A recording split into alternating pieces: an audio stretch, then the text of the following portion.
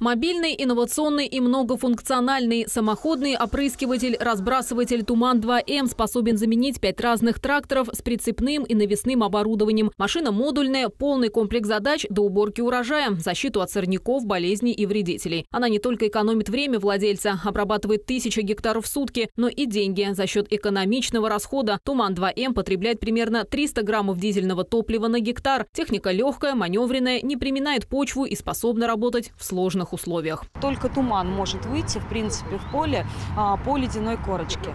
Давление на почву на шинах низкого давления составляет 0,35 а, килограмм на сантиметр квадратный. След от машины, и если человек наступает на почву, даже след от машины, он намного меньше, чем от, от самих людей, как говорится. Машина полностью компьютеризирована. Водителю не нужно выходить из кабины, все параметры задаются автоматически. Кроме того, есть подруливающее устройство. По сути, остается только следить за монитором. Машина очень герметичная, имеет кондиционер, отопитель, а, плюс э, фильтр, угольный фильтр очистки салона, а, мультисистему, управление гидросистемой полностью идет из кабины. Туман-2М – образец конкурентного импортозамещающего продукта. Машина изготавливается из отечественных материалов, разработана самарскими авиационными конструкторами и запатентована. В аграрной компании опрыскиватель-разбрасыватель станет незаменимым помощником. Елена Горская, Наталья Моисеева, Роман Авраменко. Липецкое время.